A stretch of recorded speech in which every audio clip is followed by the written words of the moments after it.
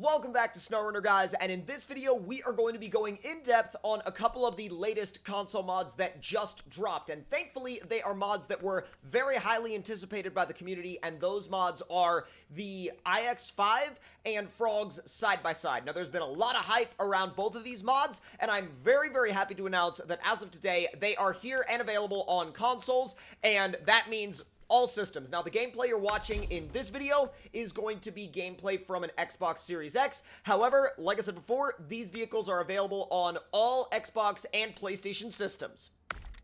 So first, let's talk about Frogs side by side. Now, Frogs side by side, a lot of you guys, if you play a lot of, for example, Off-Road Outlaws or maybe some other off-road games that have a lot of um, side by side vehicle presence in those games, you're going to be all about this. Now, or even if you're just somebody that really likes to um, take a side by side or an ATV out into the off-road parks or the wilderness on the weekends, this definitely is going to be a vehicle that I think a lot of people are going to enjoy playing around with on console consoles. And I know that after a lot of talk and after a lot of anticipation and after a lot of, you know, um, kind of back and forth, this thing being on consoles opens up a whole new realm of what you can do. It opens up a whole new realm of playability. It opens up a whole new realm of scouting and exploration and and really even role-playing gameplay because think about it now you can throw this on the back of either a flatbed or even like a trailer that you're pulling behind one of your trucks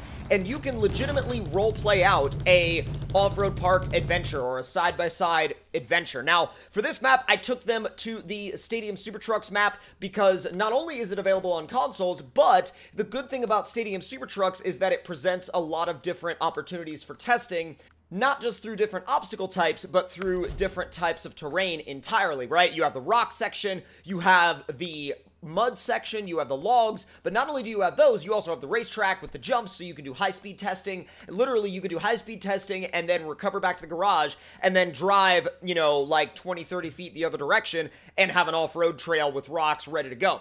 Now, jumping over into the IX5, the IX5 is a very interesting rig. Now, you can set it up to be wildly, ridiculously fast with the OP engines, or you can set it up with the either V or SE designated options, which give you more of a vanilla gameplay experience. Now, if you're looking to use this in a campaign playthrough, I would definitely recommend going with the SE parts. Um, if you go with the OP parts, honestly, it might end up being a little frustrating for you because you might be wanting to just kind of creep down a trail, and if you get on the throttle a little bit too hard with the OP engine, you'll literally just fly off into a tree. Now, however, if you are going to be taking this thing to, say, for example, the Truck Night map or this map, the OP engines are actually a lot of fun to play around with, and if you're going to a map like this, I definitely recommend using the OP engine and the OP gearbox and having fun with it. You know what I mean? If you're if you're wanting to race your friends, if you're wanting to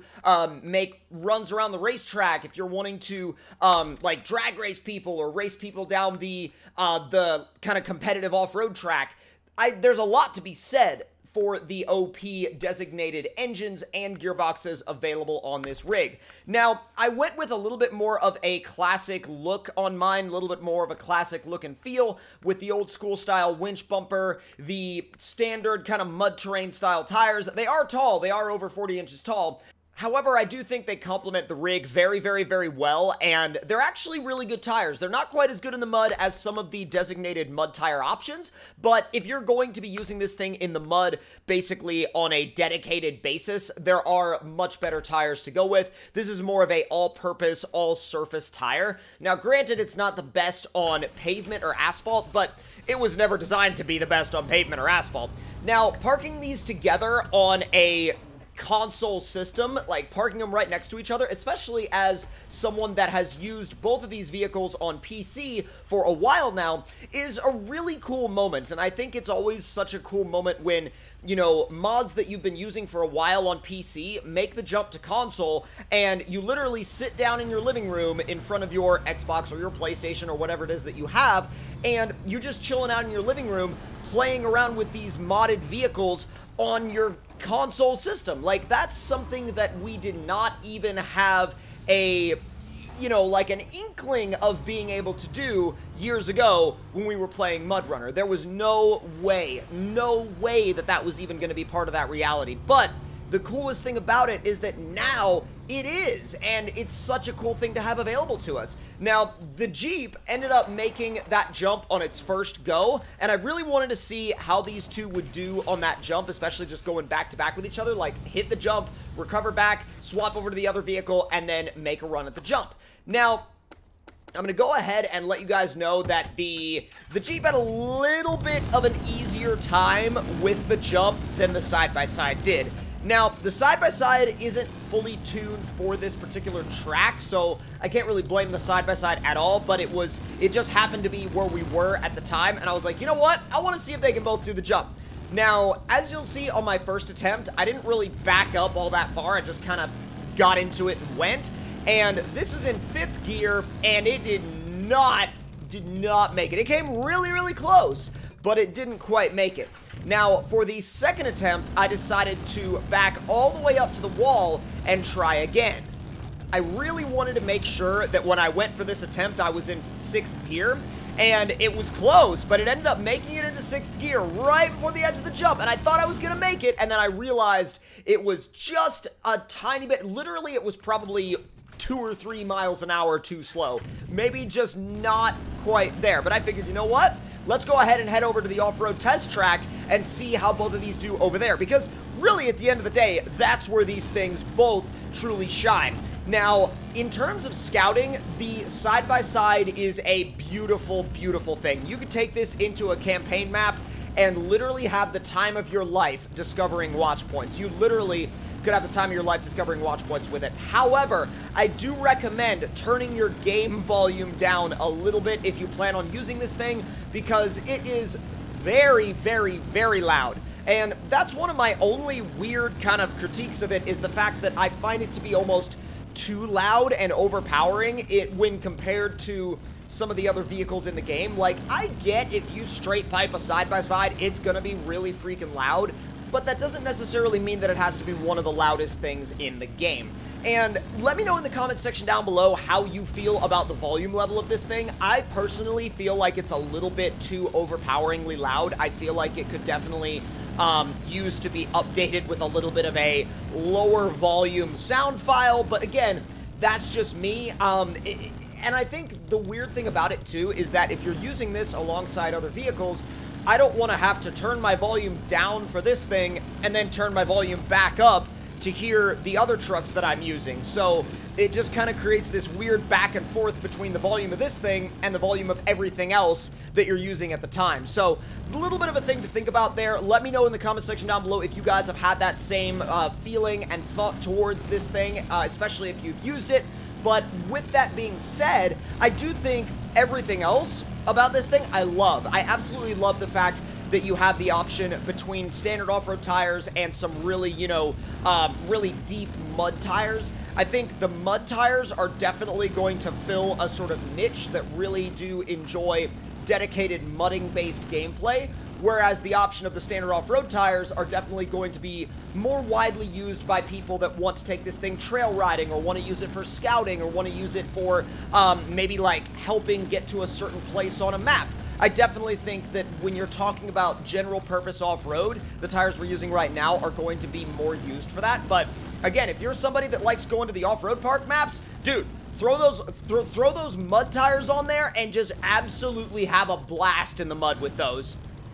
Now let's talk about the iX5. Now, the iX5, I think, definitely fills a niche in SnowRunner that has been needing to be filled for a very, very long time, and I really do hope that more people get into that sort of niche of classic Jeeps, classic off-road vehicles, and I think there's a really, really strong amount of the player base that really loves vehicles like this. I mean, classic Jeeps have always had a really, really special place in my heart personally, and I know that they have a special place in the hearts of a lot of other off-road enthusiasts. Now, this thing is a lot of fun to drive. I definitely think that keep in mind, again, like I said before, we're driving it with the max engine, max gearbox, so the performance is a little over the top, but again, I set it up that way because we're on a testing grounds, proving grounds map, and if we were on a campaign map, I definitely would have set it up a little bit differently. Now, one thing, though, that I do find a little bit odd is that the suspension is a tad bouncy, but the thing about that that you got to remember is the fact that a lot of these old Jeeps, especially, you know, if you had a big leaf spring lift, they were pretty bouncy as well. Now, were they as bouncy as this thing is in the game? Probably not, but but at the end of the day, though, it's not that far-fetched to assume that Puppy Master may have engineered in some of that bounciness to be somewhat reminiscent of the real thing. Now, I haven't actually talked to him about that. I haven't actually asked him about that, but he may have. We never know. He may have. Now, jumping back into the drive here, the reason why I had to recover there is because I did end up pitching it over forwards, and you gotta remember that when you put the winch bumpers on this Jeep, it does add weight to the front, and when you're running the really high suspensions, and you've got a tire that's over 40 inches tall, there is a chance that you could flop the thing over. Now, the only thing about that is, you gotta remember, I think a lot of people are gonna, uh, like, may kind of complain about the fact that this thing, you can flop it over when you're running the tall tires, but you know, if you're running a Jeep that's got a ton of lift and big tires in real life, you got to be careful with that too, because you can flop that over as well. So it's kind of one of those things where it's like, it may not be all that far-fetched from the real thing, obviously minus the performance of the engines and gearboxes that I have on this thing. This particular one, again, is running the max engine and max gearbox, but it is very, very easily uh, changed out for less over-the-top options. Now, I would love to hear from you guys in the comment section down below. If you have used either of these vehicles on consoles yet, let me know how they are working for you on both Xbox and PlayStation systems, any Xbox or any PlayStation system. Either way, let me know how both of these rigs are working for you. Let me know what you've been using them for. Let me know what maps you've been using them on. And let me know if you've been having fun with them. Now, that is going to do it for this particular console mods video. If you did enjoy, it, make sure, again, to leave any thoughts and opinions in the comments below. Hit that like button if you enjoyed. Subscribe if you're new. And I will see you guys next next time.